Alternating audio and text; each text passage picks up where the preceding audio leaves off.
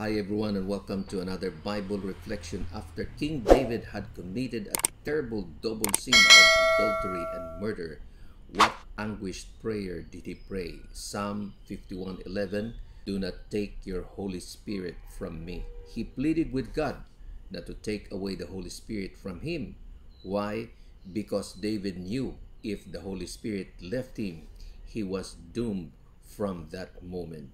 He knew that only the Holy Spirit could lead him to repentance and restoration, and he trembled at the thought of becoming deaf to his voice. The Bible tells us in another place that God finally left Ephraim alone because he was joined to his idols, Hosea 4:17, and would not listen to the Spirit. He had become spiritually deaf.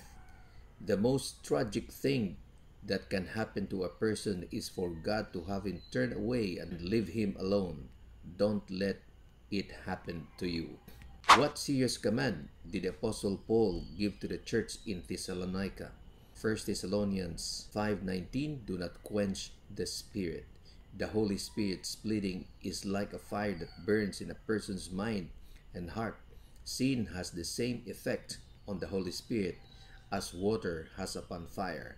As we ignore the Holy Spirit and continue in sin, we pour water on the fire of the Holy Spirit. Paul's weighty words to the Thessalonians also apply to us today. Do not quench the fire of the Holy Spirit by repeatedly refusing to heed the Spirit's voice. If the fire goes out, we have passed the point of no return. My name is Rey Pueblo, and I share relevant Bible-based content. If you have learned some truth in this video, please like, share, follow, and subscribe.